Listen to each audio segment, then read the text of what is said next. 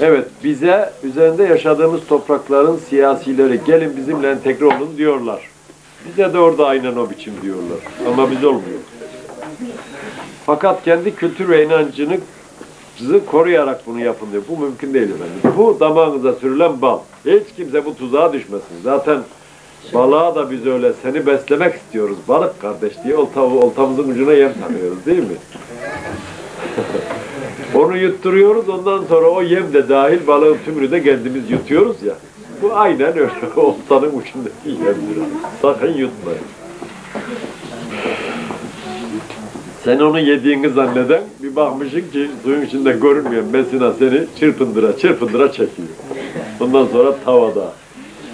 Hor hor hopla dur. işin gücün yok. Bu konuda ne dersiniz diyeceğimizi dedik herhalde. Böyle bir entegre mümkün değil efendim.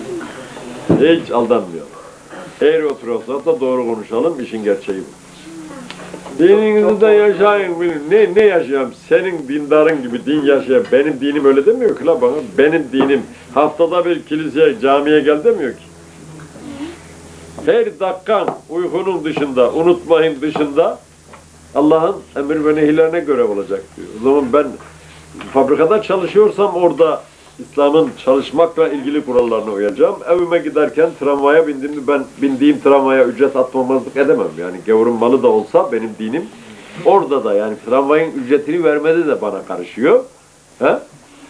Efendim sokakta gördüğüm gavur çocuğu da olsa birisini okşayıp yani güler yüzle de olsa sadaka vermeme kadar düzenliyor. Hayatımı tümüyle kapsıyor ve tümüyle düzene alıyor. Senin dinin zaten gücü bir şey yetiyor ki haftada bir gün bile kiliseye götüremez hale gelmiş adamlar.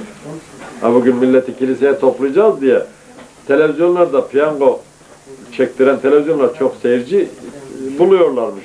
Kiliseler de piyango çekmeye başlamışlar şimdi papazlar. Ne var fazla şey dindar gelsin diye. E, kumar oynattıktan sonra sen ne, ne anlattılar bu işin? Din nerede kaldı o zaman?